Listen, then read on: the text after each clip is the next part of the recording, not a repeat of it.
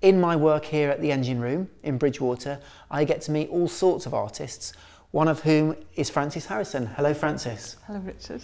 Uh, Frances, you recently worked with us on um, the production of your new piece of video art, In Starlight. Tell us about the film. So, In Starlight tells the story of a young boy and his grandmother as they think about the dark starry skies, particularly as experienced on Exmoor National Park. The film comes from a project called Dark Starry Skies, which is all about celebrating this beautiful aspect of nature. And it began because Exmoor National Park was awarded the first international dark sky reserve status in Europe.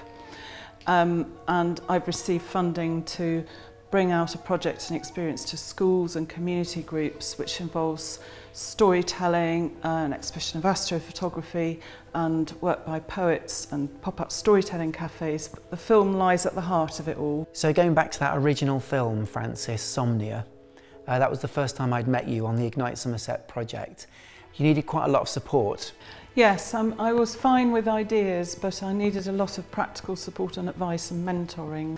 We, um, we went out on Exmoor in the dark to film a fire in a fire bowl and, um, and it was freezing and windy and the light was disappearing and, um, and I, I, I thought it was brilliant. it was because it sort of re I thought, okay, things can happen here. This is, you know, this is, um, I mean, it was daft, but it was exciting.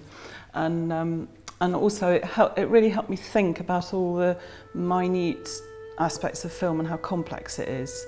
And so I was beginning to think then, that film, Somnia, was really a, a series of compositions and it was very much a linear thing based on Coleridge's Kubla Khan, which doesn't really have a narrative, neither did the film really. It was imagining Coleridge, imagining the Kubla Khan.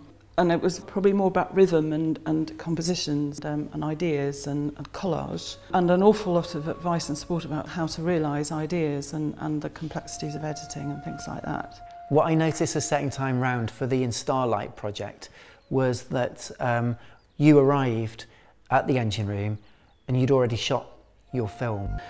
I felt after the, as we went through the second film, and at the end of the second film, that I was beginning to walk into the landscape of film. I was really beginning and I've, I just I feel very excited about that and that it's the kind of thing that the more you know the more you know how little you know and I know I've got a pretty good idea of how much much more I got to learn which is a really good position to be in. So Ignite has very much given you a, a an additional digital tool in your artist toolkit? Yes, uh, um, very much so, and I can see massive potential.